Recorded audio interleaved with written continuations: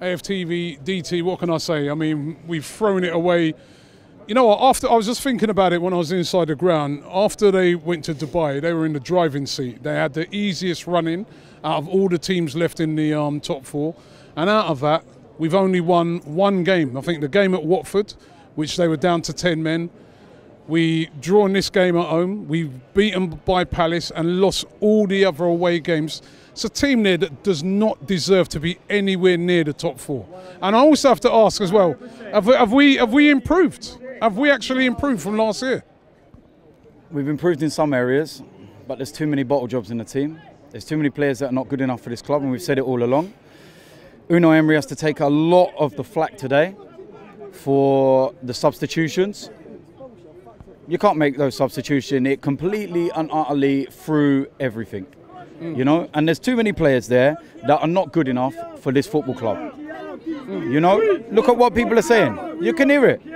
You know, what's Stan Kroenke actually doing? This summer, he's got to go and actually do But something. even by blaming Stan Kroenke, that No, no, re- that record in the running. Yeah, yeah, no, no, no, that's The- fine, the- that's the- fine, the- that's fine. But at this the end is of the, poor. No, no, no. The reason why we'll go back to Stan Kroenke, right, is because he never backed Unai Emery in the summer and Mm. gave him the appropriate funds to build from the very beginning. He basically said to him, "You've got to go with the shit you've already got and try and make them better. Some of them you can't coach them. I've seen better defensive lines in fucking junior football. Simple as that, Robbie." I'm sorry, but I've sat there and I've been positive so many times this season and I'm emotionally drained. This season's fucking drained the life out of me. And we've got to try and pick ourselves up and go again for a big game on Thursday. But do I have any confidence? None. We're going to fucking Barcelona and driving four hours or so to Valencia. It's the same all the time, and until the weak mentality is rooted out of this club, we're going to be in this same position every season. It's as simple as that. What more do you want me to say about them? I walked out. I never gave them no lap of appreciation. Why should I appreciate that shit? Right? I feel a little bad that I didn't get to say goodbye to Aaron Ramsey. But that's principle. I had to walk out because that was not good enough. And it's not been good enough over the course of the season. So why should I stand there and applaud you? Why? When I go to away games and we get beaten and you walk off the pitch and don't come over and applaud us, that's exactly the same. It's Exactly. All, it's all it's all on it's all on Thursday now. It's all on that that now all of a sudden is an absolutely huge game, a must-win game, or basically we would we would have just finished exactly Robbie. the same as we did last season. Robbie, we've had must-win games for the last month. We went to Dubai to recharge our batteries. It looks like we left our batteries in Dubai. We went to Dubai and we're fully recharged. What happened to the players? Maybe they should have come out clubbing with us. They would have been all right then. But they've literally came back and everyone looks flat. The players that there's certain players you could tell they're looking at other players and they're thinking you're shit. They won't ever admit it, but they are. Let's go through the team, right?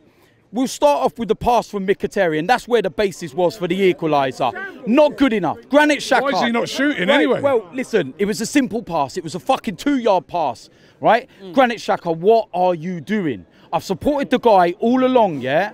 But it comes to a point now where I've got to look at it and say, we can get better than Granit Xhaka. I'm sorry, mm. but I've supported him all along, so don't sit there and criticise me. We need better than Granit Xhaka. If we're going to take that next level, we have to. I'm sorry, Robbie, but we're going to have to, man. And, uh, you know, you look at um, Cech's leaving, Lichtsteiner's going anyway, Mustafi's not good enough. Um, what, Monreal in the bin as well. Too many players, not good enough. And I don't care if you sit there and say, we're getting rid of five, six, seven players, we've got to replace them. So? We're Arsenal. Why should we not be able to pl- change five, six, seven players? If you're not good enough, get out. Sorry, but no.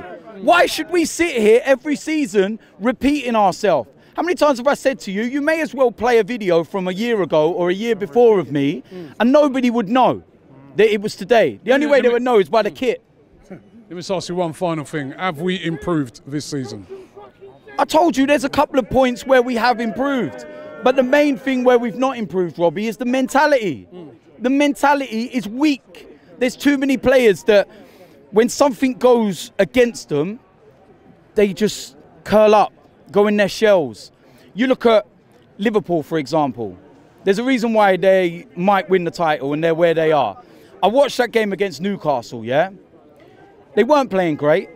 They just had a tough week in Barcelona and everything else. And they could have gone into that with their heads down, just been slapped 3 0 and whatnot. And at 2 2 with five minutes to go, somebody pulled it out of the bag. And it was fucking Origi, of all people. But somebody pulled it out. That's what teams do when they're at that level. We're not at that level. Right now, we are a Europa League team. But we didn't move to the Emirates to be a Europa League team. So either the board back the manager, right, or fuck off. And we need to push the owners out of this club if they don't back us. That's what you need to remember. Because Unai Emery is going to keep going in a cycle, in a cycle, over and over and over. Get rid of the odd player, bring in the odd one. It's never going to work. It's just a never ending cycle. So the board either back the manager properly, and then Unai Emery's got no place to turn to hide because he's been given it, or we're going to have to force him out.